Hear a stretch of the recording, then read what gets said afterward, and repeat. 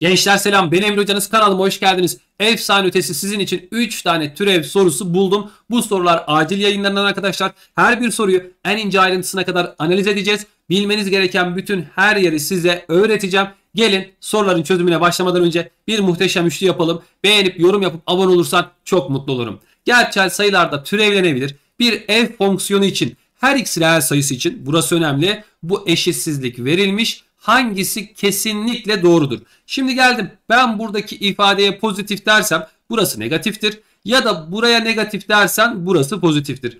Önce şuradaki yere bakalım seninle birlikte. 1. fx sıfırdan büyükse fx dediğin ifade sıfırdan büyük. f türev x dediğin ifade sıfırdan küçükse pozitif değerli hemen geldik yazdık. Ne diyoruz? Azalan bir fonksiyon var elimizde diyoruz.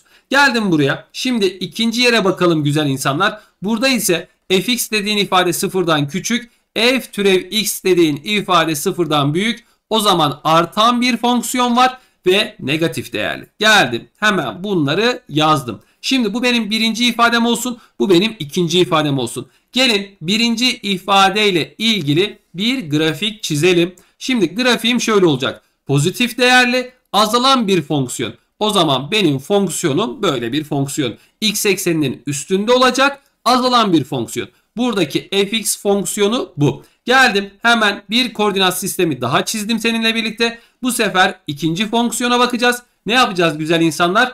Negatif değerli x ekseninin altında artan bir fonksiyon. Yani şöyle bir grafik ne yapabilirsin? Çizebilirsin. Bu da benim ikinci fonksiyonum. Şimdi burada şıklara baktığın zaman fx artan bir fonksiyondur.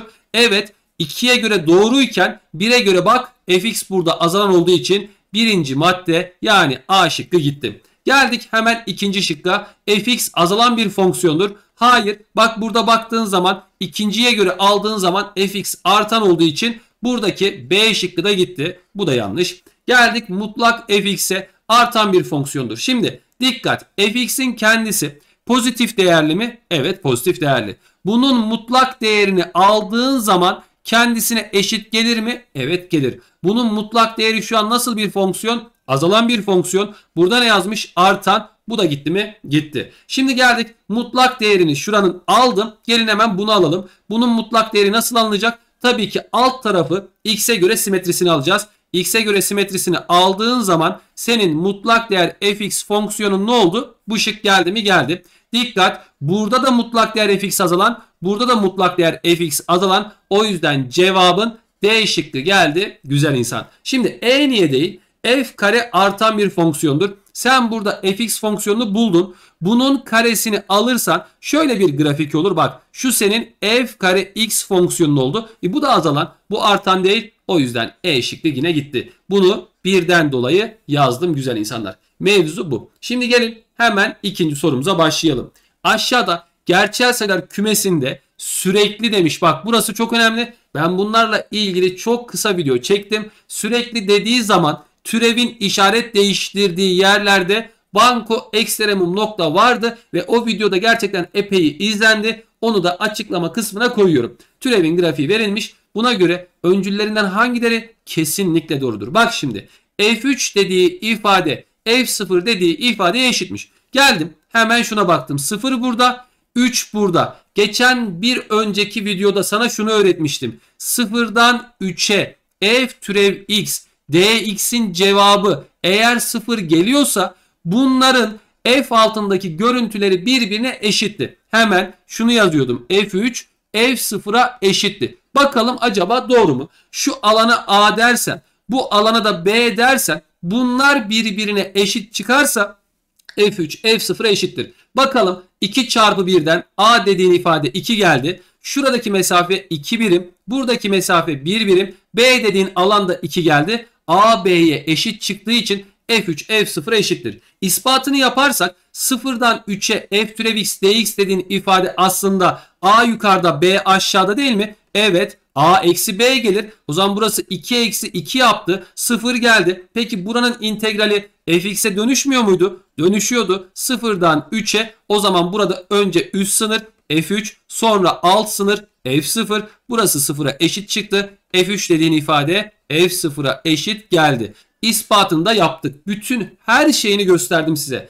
Tekrar söylüyorum bak bir integralim var ve bu integralde f türev x dx yazıyorsa bunun sonucu sıfır geldiği zaman bunların görüntüleri ama fonksiyondaki görüntüleri birbirine eşittir. Bunu lütfen ama lütfen unutma. Fonksiyonda sürekli olacak. O da önemli. Sürekli olmasaydı bunu diyemezdik. Bu yorumu yapamazdık. Bu da bizim için can alıcı noktalardan birisi. Şimdi geldim buraya. F fonksiyonun yerel maksimum değeri yerel minimum değerinden 2 fazladır. Şimdi bu fonksiyonun yerel maksimum noktası neresi? Geldin bak şimdi şurası artı şurası eksi artıdan eksiye geçtiğin an maksimum olur. 1 virgül f1 dediğin yer senin f fonksiyonunun yerel maksimum noktasıdır. Şimdi geldim şuraya. Burada eksiden artıya çıktığım için azalandan artıya geçtiğim için 3 virgül f3'te benim neyim var güzel insanlar? f'in yerel minimumu var.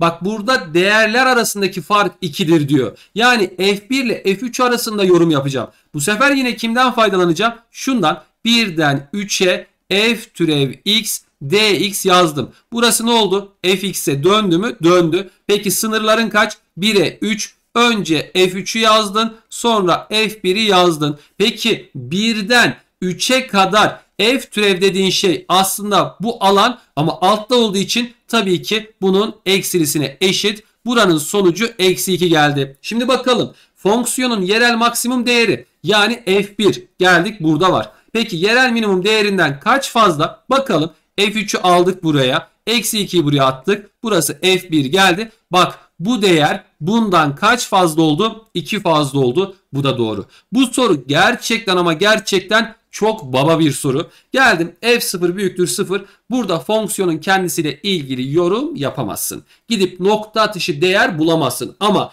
elinde şurada mesela diyelim ki f2 şudur. f0 değil de f1 budur derseydi o zaman yorum yapabilirdim. Tamam mı? Geçtim 3. ve benim son soruma. Şimdi Utku adında bir öğrenci sınıfa girdiğinde tahtada aşağıdaki grafiği görmüş. Bu grafiğin fx ya da fx'in türevine ait olduğunu bilen Utku bunlardan hangisi olduğuna karar verememekteymiş. Tahtadaki grafiğe dikkatlice baktığında grafiğin altında bir bilgi daha görmüş ve doğru olan bu bilgiyle grafiğin ne olduğuna doğru karar verebilmiş. Bak bilgi de doğruymuş. Bunu sakın ama sakın unutmayın. Buna göre tahtada gördüğü not öncüllerinden hangileri olabilir? Şimdi ben bu grafiğin f'e mi f türeve mi ait olduğunu bilmiyorum. Şimdi altta bir tane not var. Geldim. Notta şu yazıyor. F türev eksi 1 bölü 2 sıfırdan küçük ve bu not doğru. Şimdi ben şunu biliyorum arkadaşım. Şu an bu grafik F türevin olsaydı. F türevin olsaydı. Eksi 1 bölü 2 burada bir yerde. Aşağıya indin. Buna gelen değer negatif bir değer. Tamam. Şimdi geldim. Bu grafik F'in grafiği olsaydı hemen şu yorumu yapacağım. Fonksiyon burada azalan bir fonksiyondur. Azalan bir fonksiyonun oradaki türev değeri negatiftir. Bu da eksi. Şu an hangi grafiğin olduğuna karar veremedim. Niye? Bu da negatif çıktı. Bu da negatif çıktı. F'de oluyor. F türevde oluyor. Şu an bu bilgiyle grafiğin ne olduğuna karar veremem. O zaman birinci öncül gitti. Şimdi geldim buraya. 2'ye baktım. 2 burada. Şimdi tekrar aynı yorumu yapıyorum. Bu grafik F türevin grafiği olsaydı 2'deki türev değeri ne olacaktı? Tabii ki sıfırdan küçük gelecekti. Peki bu grafik f'in olsaydı fonksiyon burada artan olduğu için burada benim türev değerim sıfırdan büyük gelecekti. Ama bu bilgi doğru bir bilgi ise soruda öyle demişti. Doğru bilgide türevin sıfırdan küçük olduğunu biliyorum ve burada şu an fonksiyonun hangisi olduğuna karar verdim ve hatta türev grafiğiymiş. Onu da söyledim. Yani f değil türevin grafiği. O zaman bununla bulabilirim. Geldim f türev 4'e 4 burada bir yerde. 4'e karşılık gelen değer şu an f türev olsaydı çalışsaydım cevap tabii ki x ekseninin üstünde olduğu için pozitif. Şimdi geldim şuraya. Bu fonksiyonun türevinin değil de kendi grafiği olsaydı yine artan olduğu için yine bunun türevi sıfırdan büyük olacaktı. İkisinde de türev sıfırdan büyük. Şu an yine ilk durumdaki ifadeyle karşılaştım. Bak tekrar söylüyorum. 4'te grafik türevin grafiği olsaydı x ekseninin üstünde olduğu için pozitif olacaktı. Geldik buraya fonksiyonun grafiği olduğu için artanlıktan dolayı yine sıfırdan büyük gelecekti. İkisinde de sıfırdan büyük. Şu an f türev mi f mi karar veremem. O yüzden üçüncü öncül yanlış. Cevap sadece B şıkkındaki yalnız 2. Peki 1 niye olmadı? Tekrar söylüyorum. Burada fonksiyon azalan olduğu için türevi sıfırdan küçük geldi. Geldim buraya güzel insan. Hemen yine aynı şekilde f türevi olsaydı x eksenin altında olduğu için yine türev sıfırdan küçük geldi. İkisinde de türev sıfırdan küçük olduğu için grafiğin hangisi olduğuna karar veremem. Ama 2'de karar verdim. Olay bu şekilde. Beğenmeyi unutma. Kendine iyi bak. Seviliyorsun.